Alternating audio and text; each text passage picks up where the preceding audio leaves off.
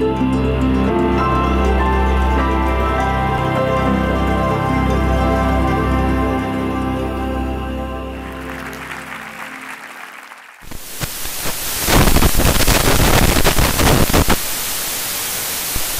me?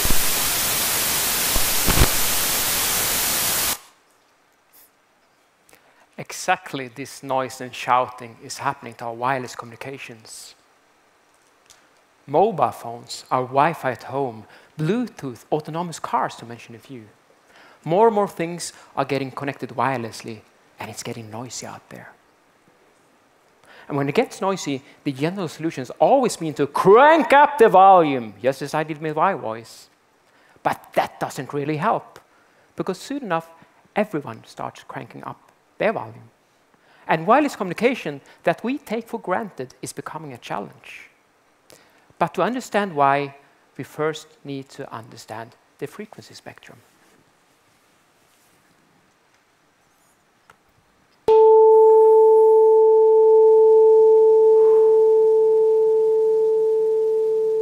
You are just now witnessing the passion of my life, a frequency, a pure sinusoidal, a pure 440 hertz sinusoidal, absolutely beautiful. Did I say passion of my life? I just love them frequencies. And for doing so, some people call me a nerd, a geek even. I am absolutely not. I am the freaking chief nerd frequency geek, and I am proud of it. but what I find the most beautiful with these frequencies is that they are the very foundation of all our communications in the world. They are a necessity for our modern life. And I claim that they are one of our most precious natural resources. And me communicating with my voice here is just me using my full spectrum of frequencies. And you know what? There are other frequencies. Our frequency spectrum, beautiful, isn't it? Here you find all the frequencies that we have, like the visible light, the colors of light. And there is a portion of this frequency spectrum of frequencies that you cannot see and you cannot hear them. I call them our visible frequencies. And boy, these ones are the one that I love the most. We use them for wireless communications. Wireless communications, that is a necessity for our modern life. And I even claim that these frequencies will be essential in making the world a better place. Why? Let me tell you a story about internet and what is yet to come. In the beginning, there was darkness. Well, there is no internet. But in 1969, a group of really smart people come up with this great idea called ARPANET. And a few computers could connect even at great distances. And soon enough, more and more computers got connected and we started to call it internet. And we got Mosaic and other modern web browsers, and internet connectivity was booming. And when every computer on the earth was connected, we said, well, that's it. How wrong we were.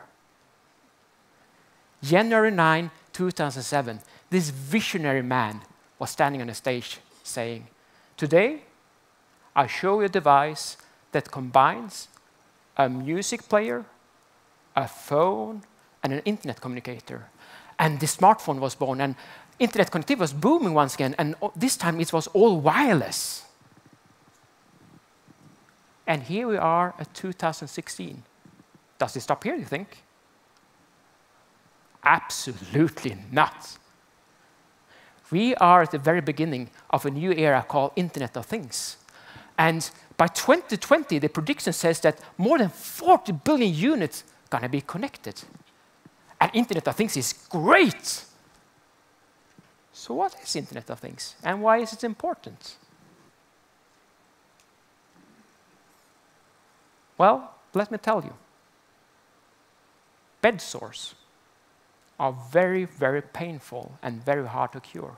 But imagine if all beds in a hospital were connected with sensors, then data could be gathered. We could analyze, we could predict. We would know bed sores happen even before they did. No more pain and no more hopeless cures. The French city of Nice has 300,000 citizens, but in summertime, more than 4 million people are visiting Nice. The traffic situation was, of course, a mess. Constant rush hours. But by connecting smart sensors to the parking lots, a 35% reduction of air pollution was made because no one had to drive around anymore to find a parking lot. An easy solution. Internet of Things is great. Internet of Things will help us make a better world. And my best friends, the frequencies, they are the true heroes that makes this happen. And I call it connectivity for a better world. But when Internet of Things is taking off, all this noise and shouting is going to be even louder. And unfortunately, we treat the frequency spectrum much as we did with oil in, in the 70s. Buy that big car with that huge fuel thirsty engine, just pump some more oil, and all the problems will go away. Yell louder and more often, and the message will get through. Unfortunately, the frequency spectrum doesn't work that way. Once it gets too crowded, everybody starts losing.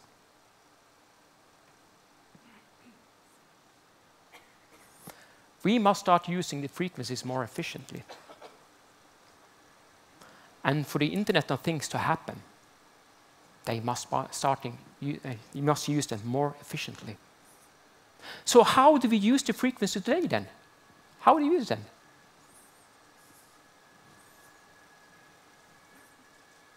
Quite inefficiently. Ever tried to make a call on New Year's Eve or send a text? This is what's happened. So how do we use the frequency today then? I bring before you the spectrum of my best friend. Well, this is the US spectrum of how to use frequencies, the regulated use. And the problem with this picture, this situation, is that it's static.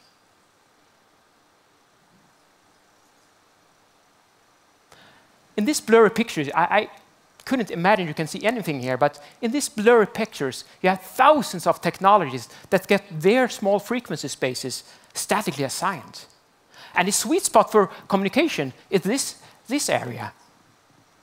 And here, you will find mobile phones your Wi-Fi at home, Bluetooth, autonomous cars, and military. And this is the problem. Although that they are not using your frequencies, no one else is allowed to use it. As long as there's no war, the military doesn't use the frequencies that much. So why should a huge chunk be assigned statically to the military? Billions and billions of dollars are paid by the mobile phone operators just to get access to few frequencies within their small frequency spectrums. They are fighting for it. And still, you couldn't do that call on New Year's Eve. Internet of Things must happen. But the plan is to deploy it on a few scarce frequencies that are already busy. Give me a break here. We are running out of frequencies. And when they run out, we cannot just make more of them. When they run out, they run out. So can we use them more efficiently then? Can we solve it? But of course we can. I decided to do something about it. I devoted my life in trying to find that solution. And you know what? This solution is really, really easy to understand, although the technology behind it was a little bit of a challenge, I must admit. But listen to this it's really easy. Only use frequencies when they are not busy. Easy as that. And it works. It works even for the, for the scarce IoT frequencies. You know, like if someone is yelling and shouting over there, let's move to a nice and quiet place and communicate here. Easy as that. But we need to do it on a larger scale. We need to do it on a full frequency spectrum. And the frequency, uh, frequency assignment authorities in the world, they need to make that decision to break up this static situation. And it's not complicated to do that. Every single country can do that decision by themselves. And I state, every country doing so, they will improve the life of their citizens.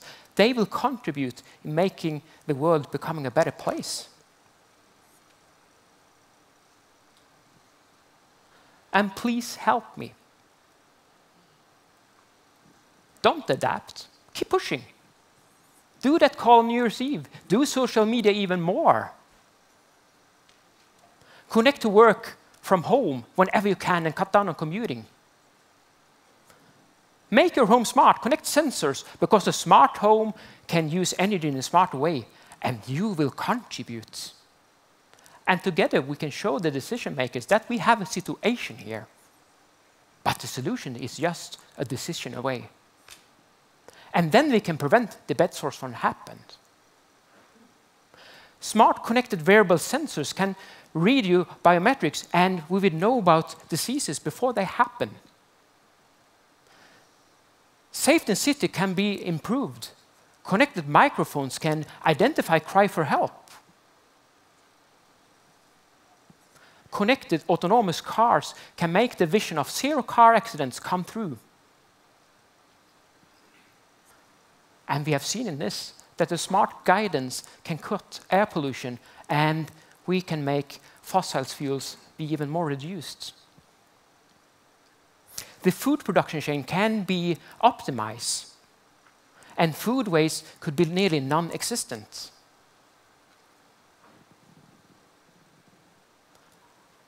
we can make the modern world become even better for all of us on this globe.